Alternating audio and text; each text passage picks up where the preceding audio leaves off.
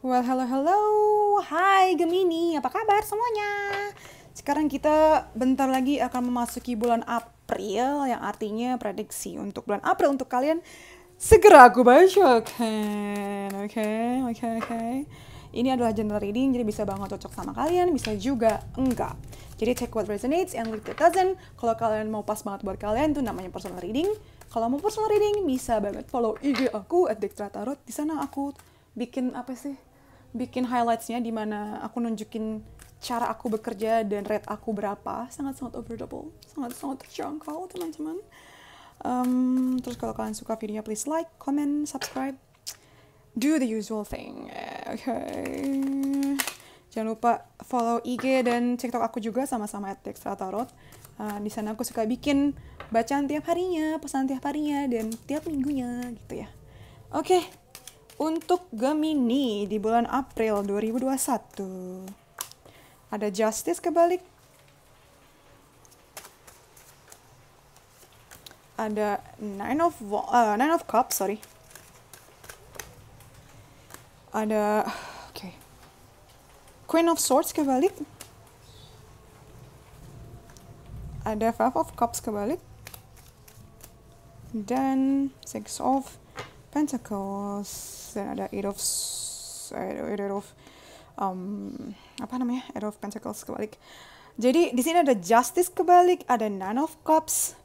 Mungkin di bulan April ini ya. Kamu nih kayak cenderung pasrah loh Gemini loh. Kayak ya udahlah apa yang orang lain mau bilang itu kayak gue pasrah terserah lo aja lah gue malas berdebat gitu. Kamu kayak bulan April ini tuh kayak merasa udahlah gue malas gue pengen nyantai aja pengen kayak ya udah nyamannya gue gimana? Bukan berarti itu diem gitu ya tapi lebih cenderung kayak kamu tuh udah capek untuk berdebat dan kayak ngoyo maksa pendapat kamu seperti apa. Kamu nggak peduli apa kata orang misal ada yang bilang wah kamu nih orangnya kayak gini kayak gini. Kamu tuh kayak udah tahu batasannya gitu loh. Kayak yang cukup tahu untuk tahu kamu yang sebenarnya adalah orang-orang yang penting buat kamu aja kamu nggak peduli orang-orang sekeliling kamu atau orang kantor atau siapa pun yang kayak nggak kenal sama kamu ngejudge kamu ini ini itu ini itu kamu udah kayak nggak peduli lagi terserah lu udah yang penting yang tahu gue sebenarnya adalah teman-teman baik gue keluarga gue pacar gue pasangan gue kayak gitu karena kayaknya bulan April ini kamu mengalami hal yang sebenarnya gak adil buat kamu, gak fair gitu loh. Cuman kamu kayak ya udahlah, udah pasrah dan percaya bahwa Tuhan akan membalasnya gitu loh. Kamu kayak udah pasrah lah, biarin lah. Capek gue, capek. Udah kebanyakan kayak berantem gue. Ya udahlah, yang penting gue seneng, yang penting orang-orang sekeliling gue, gue tahu gitu. Yang sebenarnya seperti apa gitu kita lanjut ya cukup capek loh gila hari ini aku bikin video banyak banget untuk seminggu ke depan kerjaan aku juga lagi uh, penuh banget ya Tuhanku oke okay. kayaknya abis ini aku nggak akan lanjut lagi bikin video untuk zodiak selanjutnya deh aku akan mulai bulan Sabtu eh bulan Sabtu hari Sabtu minggu depan capek banget di sini ada five of cups kebalik sama six of uh, six of uh, pentacles kebalik gitu ya um, gini kamu nih baik hati loh, lagi baik hati banget Gemini uh, bulan ini. Karena walaupun misalnya nih orang-orang yang tadi ngejatin kamu berbuat curang atau berbuat jahat sama kamu atau berbuat fair, gak fair sama kamu, kamu tuh tetap kayak ya udah, kayak memaafkan mereka dan kalau memang mereka butuh bantuan akan kamu bantu. Bagus sih, kayak orang-orang yang jahat sama kamu tuh nggak usah kamu balas gitu loh. Kayak biarkanlah karma berjalan, biarkanlah Tuhan yang membalas gitu. Jadilah diri kamu sendiri. Kalau kamu memang orang baik, jadilah diri kamu sendiri. Jangan merubah kamu kualitasnya ya. Jangan merubah kualitas kamu menjadi seburuk orang itu hanya karena kamu merasa gue harus balas dendam kayak gitu. Jadilah diri kamu sendiri yang tetap baik. Oke, okay, sorry tadi kepotong. Karena potong azan sebab rumahku ada musola. Jadi suaranya sangat-sangat kencang. Jadi harus kepotong. Oke okay, tadi sampai di uh, kamu tetap memilih jadi diri sendiri. Jangan merubah kualitas kamu karena kamu kesal dengan orang lain gitu loh. Karena kalau kamu sampai berubah menjadi diri dia ya sama aja. Kamu sama dia kualitasnya Gemini gitu ya. Terus di sini juga bulan April kamu juga kayaknya kayak lagi take a break deh untuk uh, belajar atau skill up ataupun pokoknya nambah skill kamu untuk uh, menaikkan karir kamu atau misalnya uh, level kamu lah secara umum gitu ya. Mungkin sebelumnya nih bulan-bulan sebelumnya kamu tuh kayak semangat banget untuk wow terus belajar tiada henti gitu. Cuman untuk bulan April kayak kamu diminta untuk um, ini deh coba me time udah bener nih me time nggak apa-apa jangan maksudnya kayak jangan stop cuman kayak me time-nya dibanyakin gitu loh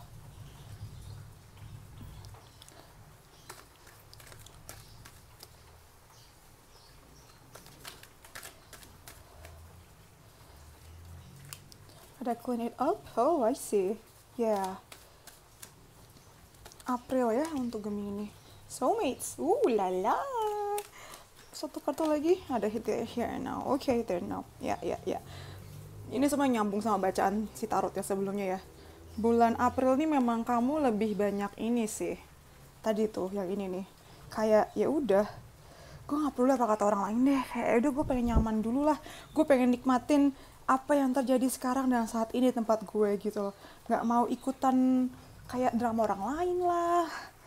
Walaupun tahu kamu kayak udahlah gue save energi aja lah. Ngapain sih? Yang penting sekarang ini yang paling penting itu kenyamanan gue gitu. Dan memang sekarang ini memang kamu lagi diminta untuk apa ya ini kayak lagi diem nih kayak lagi itu loh kayak lagi detox gitu loh kayak kamu tuh lagi bersih bersih bersih-bersih perasaan yang bikin kamu capek selama ini dengan cukup egois gitu. Egois ini bukan berarti buruk ya. Kadang kita perlu loh untuk selfish, terutama untuk kalian-kalian yang kayak terlalu peduli sama orang lain gitu. Jadi memang kamu diminta untuk detox dulu sih dengan cara ya udah nikmatin aja. Apa lakukan yang kamu mau. Gunakan waktu ini untuk recharge gitu. Dari energi-energi negatif yang bukan berasal dari kamu, tapi berasal dari orang lain. Juga bulan ini kamu diminta untuk fokus sama pasangan kamu deh atau sama orang yang kamu sayang. Udah fokus aja sama urusan kamu sendiri nih yang tadi nih. Nggak usah ngurusin orang lain lah. Urusan kamu tuh kan maksudnya kayak pasangan orang yang kamu sayangin lah gitu. Pacar atau gebetan gimana. Nggak apa-apa fokus ke situ dulu. Jangan tentang kerjaan dulu gitu coba kita perkuat dengan romansnya kita dengan kartu ini ya. The Romance Angels romance kamu Gemini di April 2021 engagement oh kan? Kayaknya emang bulan ini kamu diminta untuk kayak ngerti kenapa kamu diminta untuk fokus ke pasangan. Karena bulan April ini bulan-bulan penting loh ini. Hubungan kamu akan memasuki level selanjutnya level yang lebih serius. Di mana pun level kamu dan pasangan kamu berada kamu akan memasuki level berikutnya gitu. Yang lagi PDKT bisa makin deket. Yang udah pacaran bisa ngomongin tunangan. Yang tunangan bisa segera menikah itu di bulan April ya. Bukan! Ya Allah gue tuh nggak nggak buat buat. Wedding gitu. Oke untuk Gemini kayaknya banyak nih yang nikah tahun ini ya. Eh tahun ini bulan ini. Kalau nggak tunangan ya nikah. Aku baru bisa baru bilang loh barusan Terus kejadian kartu keluar wedding. Gila the universe the alam semesta terus untuk beberapa dari kalian forgiving and learning oke okay. iya jadi yang tadi tahapan mungkin tadi sempat berantem, akhirnya tahu kesalahan masing-masing dan mau belajar. Ya kan? Itu sama aja tahap selanjutnya, ya kan? Ya kan? Terus uh, ini kartu terakhir yang aku pakai untuk video ini adalah pesan buat kalian para Gemini di April 2021. The answers you need are coming. Jawaban apa pun yang kamu pertanyakan selama ini akhirnya terjawab nih di bulan April. Apa pun itu, mungkin doa kamu, mungkin rasa penasaran kamu, your commitment is being tested. Ini sama nih kayak si ge, uh, si Taurus tadi. Komitmen kamu lagi diuji. Jadi diminta untuk fokus sama tujuan awal kamu ya.